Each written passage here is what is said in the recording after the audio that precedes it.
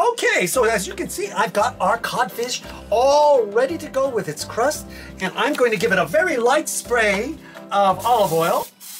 So we get a nice, very light, each one of these pieces is about 80 calories. It's not much, so where it comes in is the sauce. Italian sauce with a little anchovies mixed in, and some capers, and a little onion, and then I will make a little sauce to go on top later on when we eat this delicious Sicilian Italian cod.